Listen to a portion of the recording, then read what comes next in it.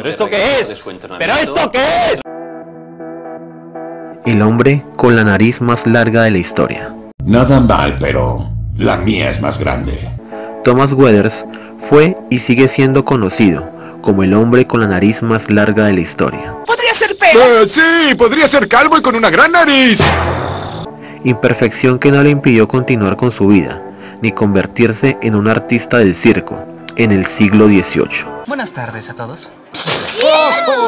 Reportes históricos cuentan que Weathers viajaba por toda Inglaterra, ya que fue miembro de un circo callejero, y aprovechó su enorme nariz para exhibirla como parte del show. Y ya está, y nos vemos en el próximo vídeo. Y no te olvides de suscribirte o seguirme para más datos que no te servirán para nada en tu vida, pero aún así quieres escuchar.